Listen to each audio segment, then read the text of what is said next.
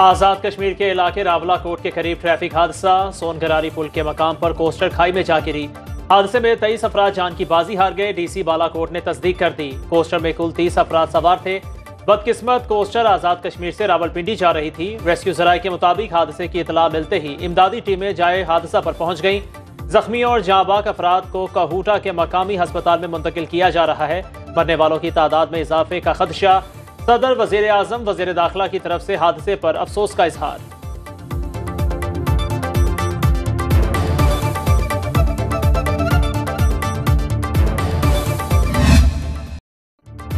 Makran coastal highway पर जायरीन की बस हादसे का शिकार। अफसोसनाक वाक़े में 12 अफराद जा बहक और 25 से जायद जख्मी। कुछ जख्मियों की हालत नाजुक। पुलिस के मुताबिक जायरीन की बस ईरान से पंजाब आ रही थी।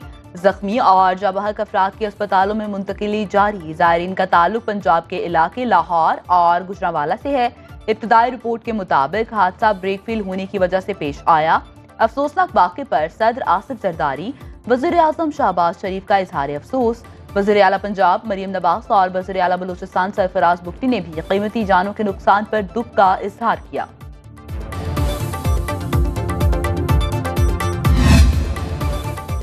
ईरान में जायरीन बस हादसे की जख्मी खातून कराची पहुँच गई। खातून की शनाख्त कनीज जोहरान के नाम से हुई। एयर बस इंतजामिया के मुताबिक खातून का ताल्लुक खैरपुर से है। खातून ईरानी शहर यज्द में जायरीन की बस हादसे में जख्मी हो गई।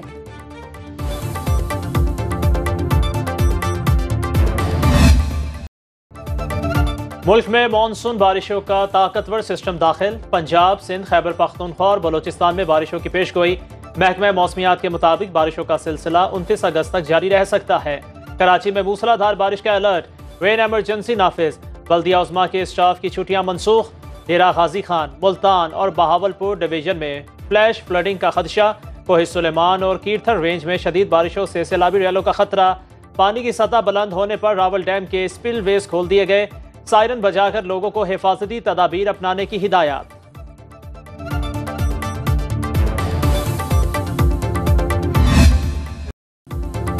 हसीना बाजुद की कठपुतली हुकूमत जाते ही भारत की बांग्लादेश में आबी दहशत गर्दी। बांग्लादेश के 11 इसला जेर आब सैलाब के दौरान मुख्तलिफ़ वाकयात में 20 अफराद हलाक, सैकड़ों बेघर।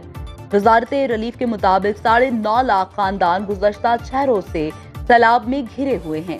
सैलाब से मुतासर होने वालों की तादाद पचास लाख से जायद है। पिनी में शदीद सैलाब के बाद चिटागोंग का ढाका से रबता मुनता गाड़ियों की पैंसठ किलोमीटर लंबी लाइन लग गई। फौज, बहरिया, coast guard, fire service, civil defence और तलबा इमदादी कार्रवाई में मसरूफ। वजर आज़म शाहबाज शरीफ का बांग्लादेशी अवाम से इजहार यकजहती कहते हैं, पाकिस्तान मुश्किल घड़ी में बांग्लादेशी भाइयों के साथ खड़ा है। सैलाब मुतासरीन को इमदाद की पेशकश।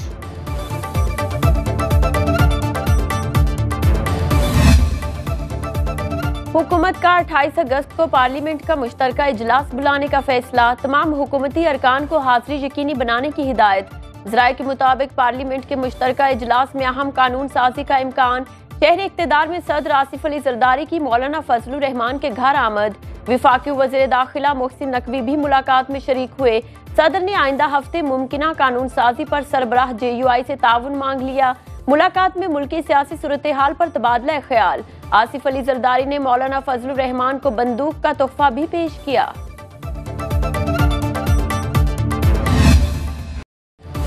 पुलिस की कच्चे के इलाके में कामयाब कार्रवाई रहीम यार खान से अगवा कांस्टेबल अहमद नवाज़ बाजियाब। डाकुओं ने दो रोज कबल मोहम्मद नवाज़ को कच्चा माचका से अगवा किया था।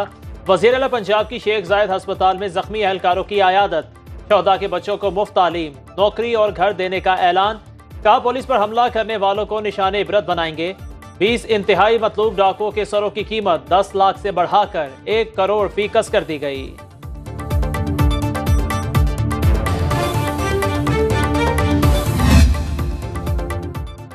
वज़ीर आज़म का ई प्रिक्योरमेंट मनसूबा एक माह में मुकम्मल करने का हुक्म, सुस्त रवि गैर मयारी काम और नामुकम्मल प्रोसेस पर इजहार बरहमी शहबाज शरीफ की दो अरब से जायद के तरक्याती मनसूबों की थर्ड पार्टी वैलिडेशन की हिदायत, कहा, हुकूमत हर किस्म की खरीदारी के लिए शफाफ तरीका राइज कर रही है। शिकायत के हल के निज़ाम को प्रोक्यूरिंग एजेंसी के मतहत नहीं होना चाहिए। शिकायत के हल के निज़ाम के लिए कायदो जवाब में तरमीम की जाए।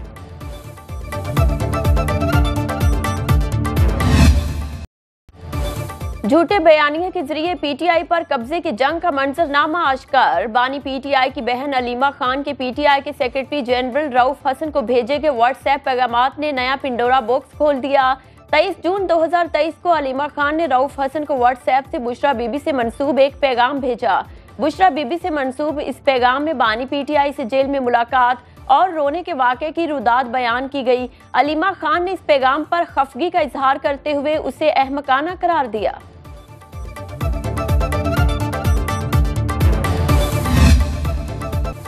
हज़रत दाता गंज बख्श अली हजवेरी के नौ सौ इक्यासी में उर्स की तकरीबात मुल्क भर से जायरीन की आमद का सिलसिला जारी। सिक्योरिटी के सख्त इंतज़ाम खातन जायरीन की चेकिंग के लिए लेडीज़ पुलिस तैनात, लंगर के मकाम और दूध की सबीलों पर आवाम का rush. C C P O Bilal Sadiq Kamiana कहते हैं, उर्स हज़रत दाता साहब और चेहलम हज़रत इमाम हुसैन की तकरीबात के दौरान सर्च एंड कॉम्बिंग ऑपरेशन जारी रहेंगे।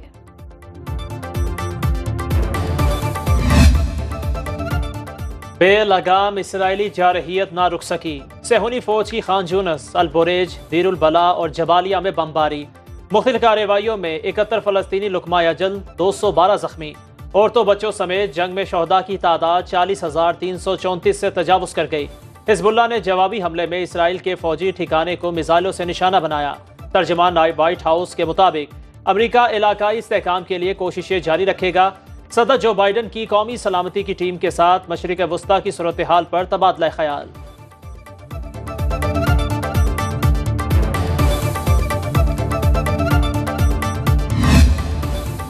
हिजबुल्ला का सीनियर रहनुमा फवाद शुगर की शहादत का बदला लेने के लिए इसराइल पर हमला। हिजबुल्ला तर्जुमान के मुताबिक इसराइल के 11 फौजी अड्डों पर 320 मिसाइल दाखिल। इसराइल में 48 घंटे के लिए इमरजेंसी नाफिज। इसराइल ने जवाबी हमले में लबनान के 40 मुख्तलिफ़ इलाकों में बमबारी की।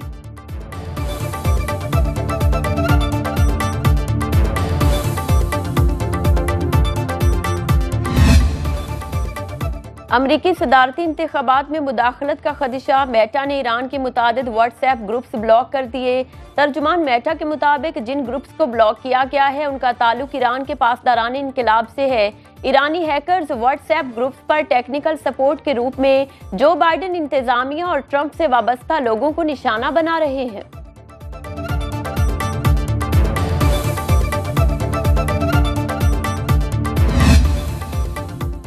पाकिस्तान और बांग्लादेश के दरमियान टेस्ट में कौमी टीम मुश्किल का शिकार। मैच दिलचस्प मरहले में दाखिल। पाकिस्तान की टॉप ऑर्डर बैटिंग लाइन लड़खड़ा गई। कप्तान शान दूसरी इनिंग्स में भी नाकाम। सबक कप्तान बाबर भी सिफर पर आउट होने से बाल बाल बचने के बावजूद 22 रन बनाकर विकेट गंवा बैठे।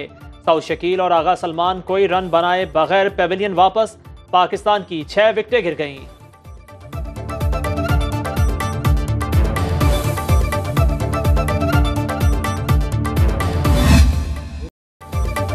पाकिस्तान क्रिकेट के फास्ट बॉलर शाहीन शाह आफरीदी ने स्पेशल चाइल्ड मद्दाख की ख्वाहिश पूरी कर दी। बच्चे ने शाहीन आफरीदी से मुलाकात की दरख्वास्त की थी। पीसीबी ने वीडियो जारी कर दी।